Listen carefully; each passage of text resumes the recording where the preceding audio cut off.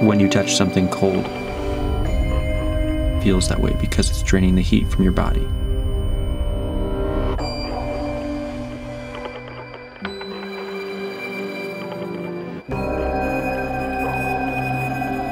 Kind of like a place.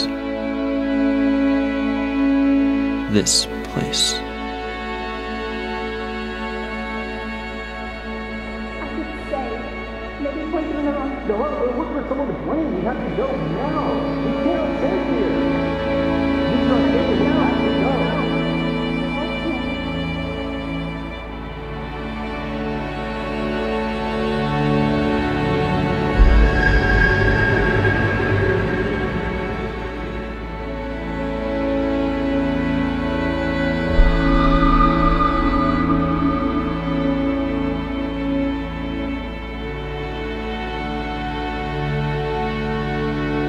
If you want to leave without me, I'll understand.